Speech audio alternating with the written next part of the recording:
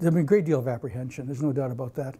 We're uh, sort of after all this time, we're kind of moving toward the conclusion, and uh, it's going to be pretty tense in the room to, uh, you know, to get the feeling of what's going on and how people are going to react. And uh, it seems that the further away you get from this, the, the, the more raw the emotion is, if I can put it that way.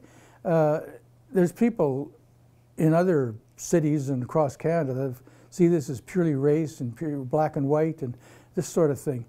But for those of us who have been around there and in it, we see it, we see it uh, shades of gray inside that.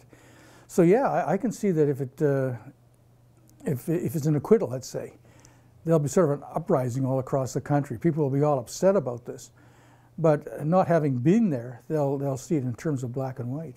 I think it's got uh, a lot of potential to be uh, one of those defining moments. And in my own heart, after watching everything, it's not really a defining moment. I don't think at the end of this, they, they've gone through a whole trial. They, they, they've, they've seen what happened. It's, it's not a pretty story. There's no heroes here. There's no winners. It's, it's a very sad story from the beginning to the end.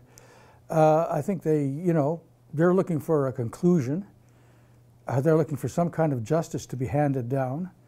Um, and I really don't know, I really can't take it any further than that. I don't know if they they want the maximum or they'll be prepared to, I think they'll be prepared to, accept, to accept something less.